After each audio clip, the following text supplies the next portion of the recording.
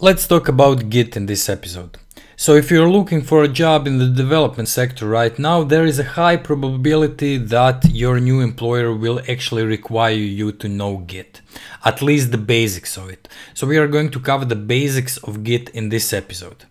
And what is Git? Git is a version control system that helps you control, actually version control your code.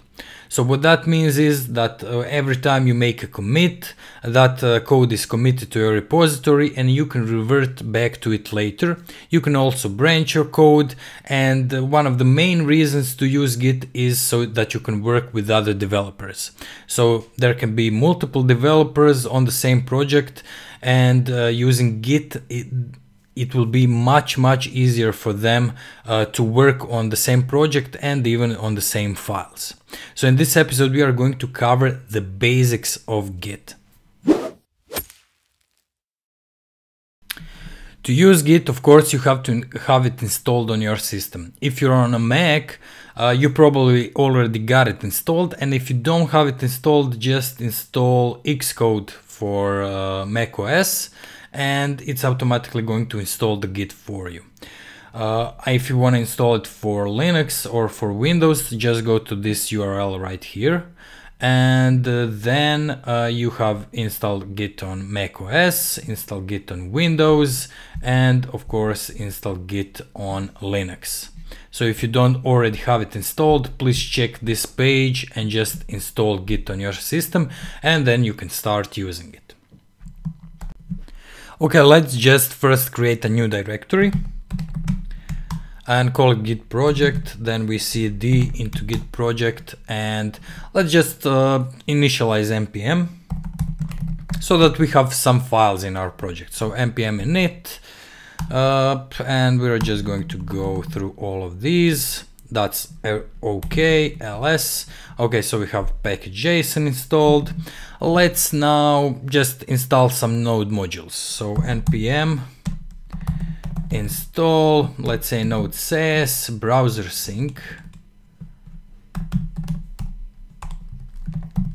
Browser sync and gulp okay.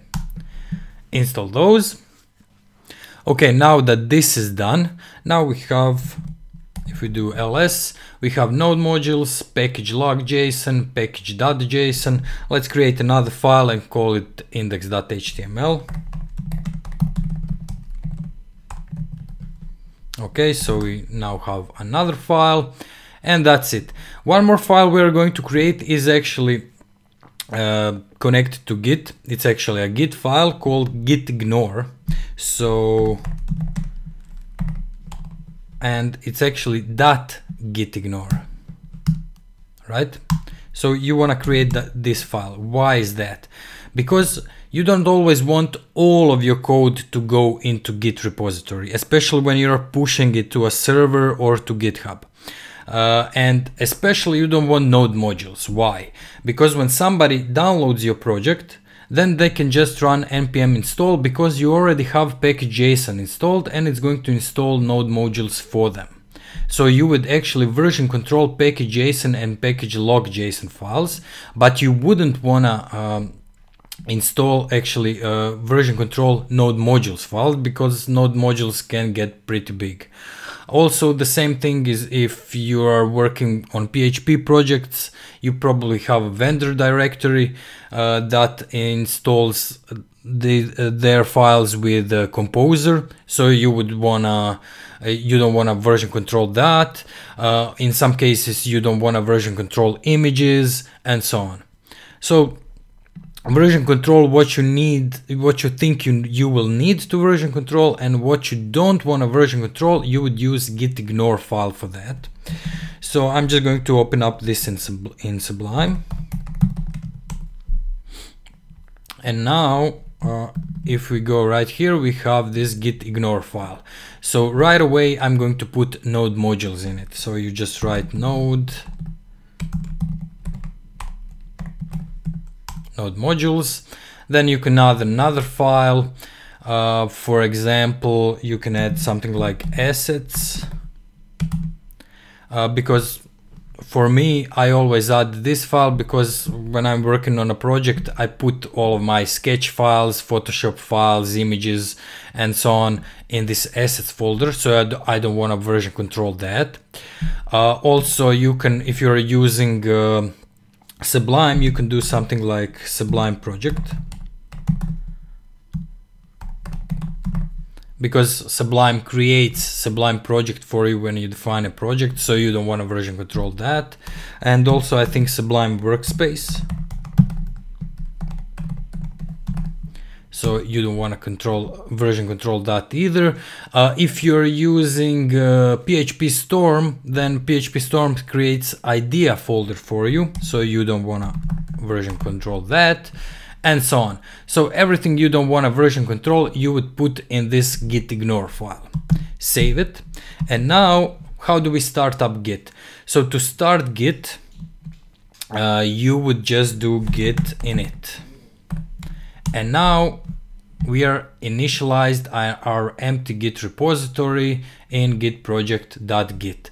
So if I do ls, you will see this .git directory right here. And if I do cd git, as you can see, this is git directory and even my fish uh, command line says that this is actually a git directory. You have some configurations right here uh, that you can change and so on. But usually you don't touch this directory at all. Uh, unless you want uh, your project not to be version control anymore, then you would just delete that git directory. So we are going to leave this as it is. And now we have git initialized. So let's create something. Uh, let's go right here and just do HTML. So we have this git project project and go right here and do h1 hello world okay hello world and now we have something in our project. So first command that you will learn in git is called git status. So if i do that uh, as you can see, it says uh, we have some untracked files. So we have this git ignore file, uh, index.html file, package-lock.json, and package.json. As you can see, there are no node modules present right here because we are ignoring them with this git ignore file. Uh, so how do you add your files? So it's very simple. You just do git add. Okay, and now if we do git status, now you can see uh, we are on a ma master branch. As you can see, it says right here. So if you are using something like Z shell, fish shell, and so on, you get this out of the box. So this uh, Git helpers. And then it says, so you have added your files, but you still haven't committed them uh, to a commit. So we have these new files right here. So how do you commit your files?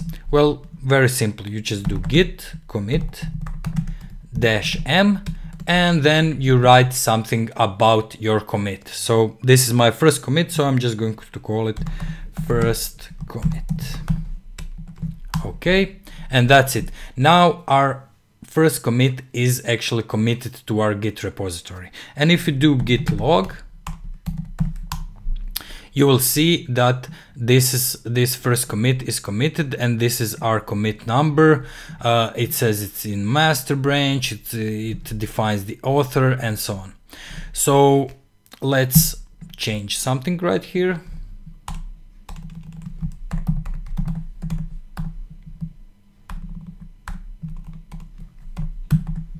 So hello universe. Save this and now if we do git status, it will say, okay, so you modified index.html file.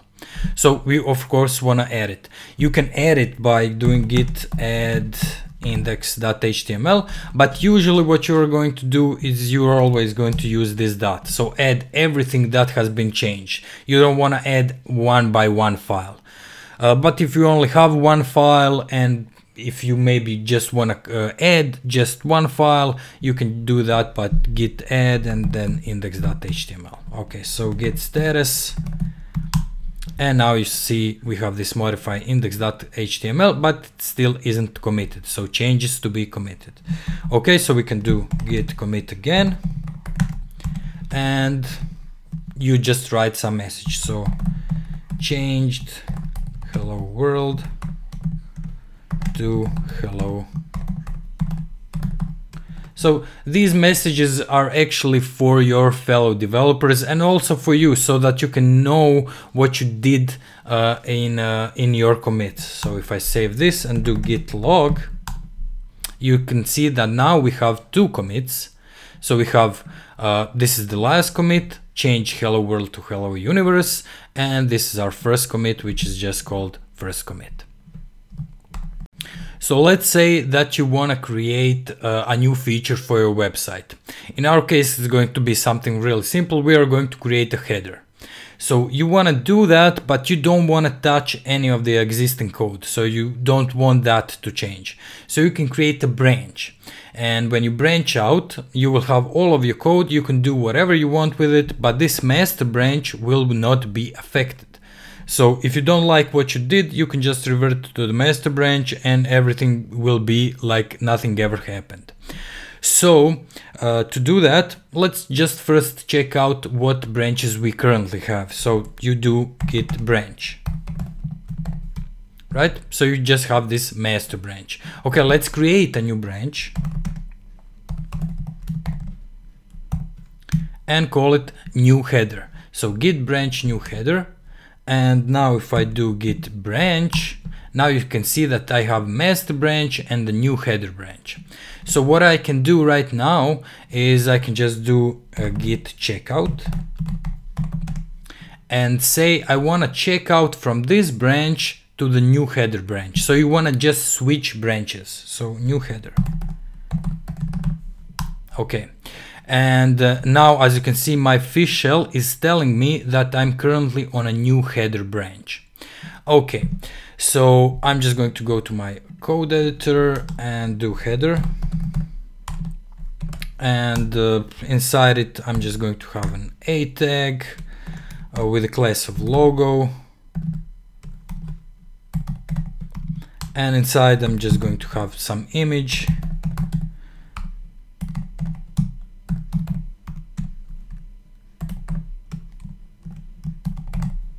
and that's it. Save this. Okay now uh, if I do git status you can see that I modified index.html file. So let's add it. So git add uh, we add all of the changed files and then I do git commit.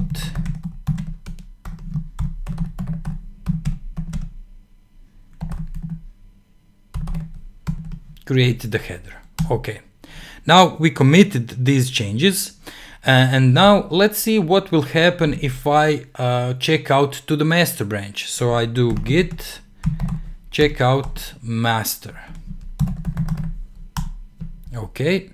If I go now to my code editor, as you can see, the code that we written is currently not here because we didn't make any changes to the master branch, we just created changes to our new header branch.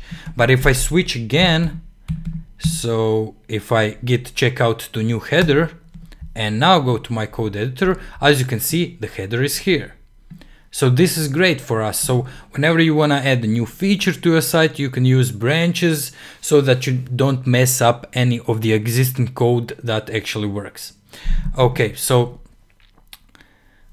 let's say this header is okay, we want it, it's great. How do we merge it to our master branch? So we will merge it like this. So I just go git checkout master again. And if we check this out in our code editor, as you can see, we don't have a header anymore. So what you can do, you can just do git merge. Actually, let me just clear this out. So git merge new header. Okay, so we are going to merge the new header branch with the master branch. and it's going to say updating fast forwarding index uh, HTML has added some lines and that's it. Uh, now if I check, check this out, you can see that the header is actually here.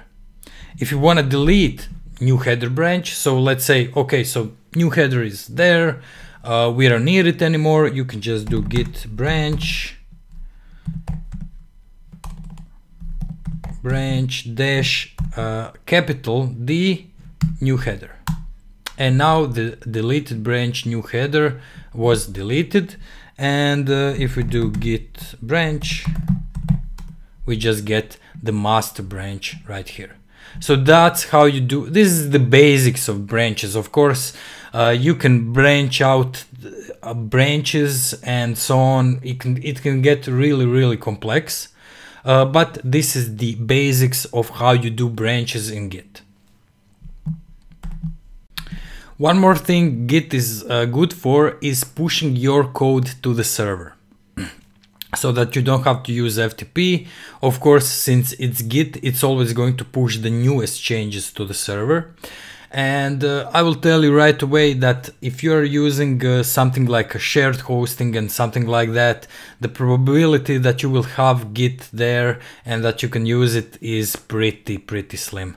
Uh, I'm using uh, for actually for my site, I'm using uh, Small Orange hosting and then they actually provide you with options that, that you can install Git and use Git. So when I do some changes on my site, I first do it locally and then I push it to my server and this is what you get. Uh, but for most of the people on shared hosting, that will not be the case. So I don't want to show you that. Also, there are some things that you have to set up and so on. So if you're working in a company uh, that uses Git, uh, those things will probably be set up by your sysadmin and uh, and you won't even have to deal with it. So uh, in our company, we actually have a sysadmin that created all of that. And when we push our changes to our server, uh, the changes are pushed to the repository and then those changes are pushed to the preview server so that the clients can see what we actually did on the site.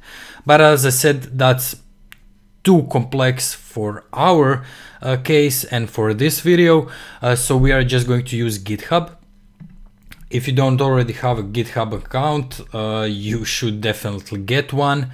Uh, it's free, so you can just go to your GitHub page and you will be greeted with something like this as you can see I'm already logged in. So let's say we want to start a project. Of course everybody will be able to see your project and now you give that project a name. So I'm just going to call it git project. Git project. It's going to be public. If you want to have a private project I think you have to pay github something. So we are of course going to use a public project and then we'll, we'll we will say create repository. Now, as you can see, you have some options. So you can uh, create a new repository on the command line. So this is actually most of the things right here we already did. So we did git init. Uh, we didn't add a readme file. So let's add a readme file right now because since we are putting this on GitHub, we want our users uh, to have some information about the project that we are creating.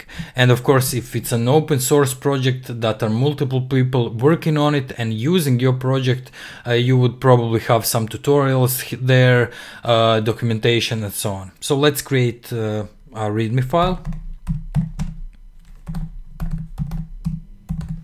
Uh, you don't have to create it, it's optional, but uh, it's good practice to do so. So now we have a readme file and I'm just going to, uh, this is a markdown file, so I'm just going to create something like this, git project, uh, and uh,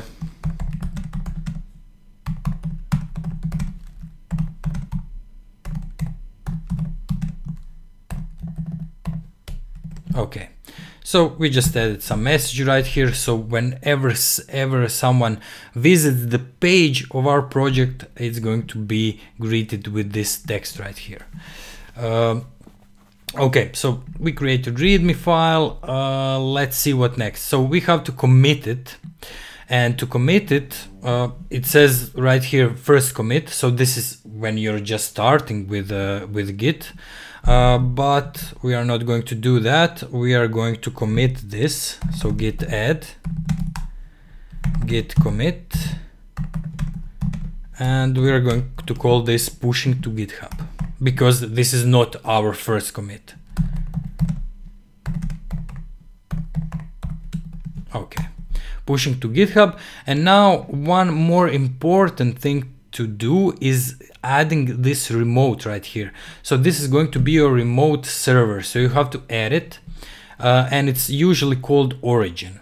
So you just copy this from GitHub, this line and say git remote add origin and then the git will provide you with this address. Of course, it's going to be different from you than it's for me.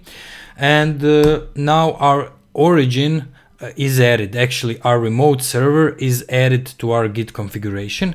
And now we just do this git push origin master.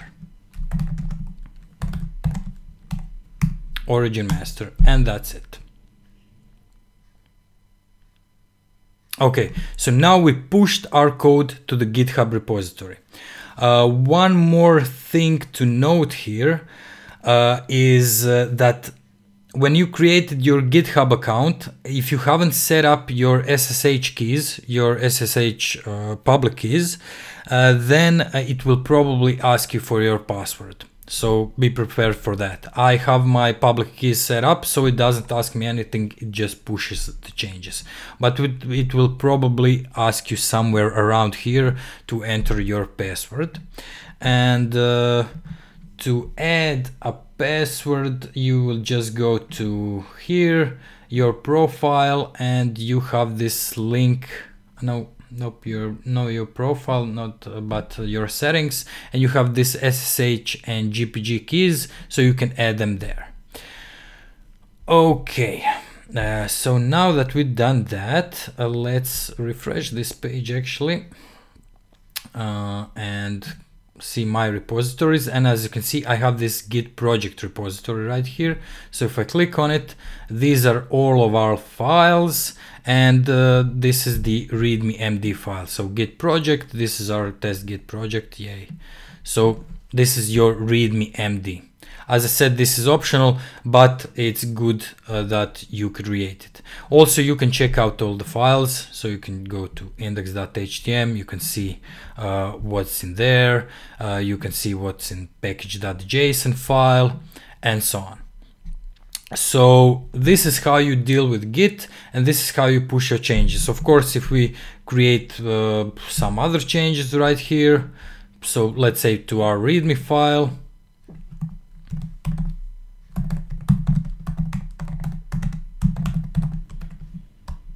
save this do git add.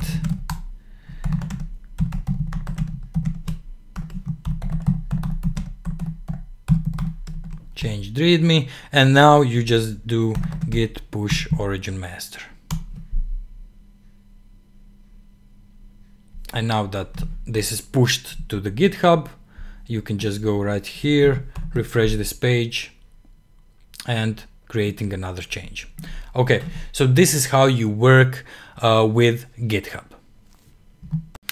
Just one more thing about github. So if you ever wanna um, take project locally so download the project locally you can just go I, I will go to this Olympus repository that I have uh, and you can do clone or download so you can download the zip file but since you are already using it why not do clone? So we would just do uh, inside git project. You will probably do it somewhere else but for our purposes this is okay. So we, we would just do git clone clone and now uh, I will clone this. So copy this paste it in so github tralala and now we just do this so cloning into Olympus and it's going to take all of the files from this github repository and if I do ls you will see that now we have this Olympus directory here and if I cd into it you will see all of the files for that Olympus theme for WordPress or whatever. So this is how you would clone uh, projects from GitHub. If you want to work on them, if you need that code and so on. Of course, you can always download it by zip or you can open it in desktop. So this is another thing that I want to discuss. Uh, right here we are not going to go into it but I just want to make you aware that those things exist so uh, as you can see we all everything we actually did here was done in our command line but if you don't want to use command line you have some other uh, GUI tools, so graphical tools that you can use. So one of them is this uh, desktop.github.com. So this is a, a, desktop application for your Git uh, repositories, and you can download them for Mac, uh, Windows, and Linux. And uh, it looks something like this. I don't use it um, very much so I don't want to show you anything in it. But as, as, you can see in this image you even have a nice way to look what changes have been made to what files uh, who to blame for those changes and so on.